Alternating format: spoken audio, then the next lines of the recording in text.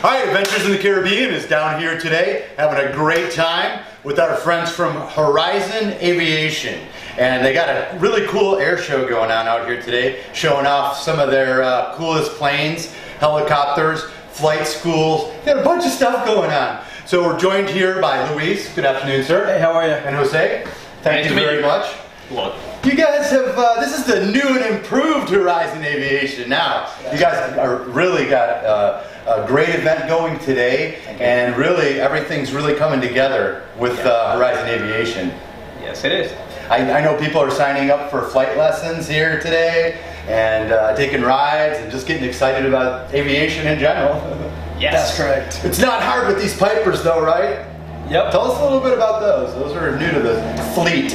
Well, uh, Horizon Aviation use the Piper Sports for flight training and for aircraft demonstration. We are also dealers from uh, Piper Sport and Sport Cruiser aircraft in the United States, uh, including Caribbean and Puerto Rico. That's good because if you try one, you're going to want to buy one. Exactly, exactly. Uh, these airplanes, uh, if, in, if you compare the Piper Sports with the uh, Cessnas or any uh, different uh, model, these ones they have a ballistic parachute system. Okay, mm-hmm. in the case of an emergency, the pilot can use it as Parachute. a safety, a parachute, a ballistic parachute system. Nice. Oh, all the avionics are very sophisticated. That's It's- state of the art. state-of-the-art equipment. The newest equipment in Puerto Rico for flight training, we have it. Here And I understand Aviation. that the navigation equipment is state of the art as well. Now, The the glass cockpit. It's a glass cockpit. The airplane has autopilot, everything.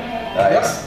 so you can crank up some tunes and uh, just fly along. And those planes have what, five, six hour uh, flight time Yeah, they, they're brand. full, on a full? Yeah, they are brand new uh, airplanes. Uh, you can you can fly uh, around six hour non-stop. Nice. This airplane they use uh, automotive gasoline.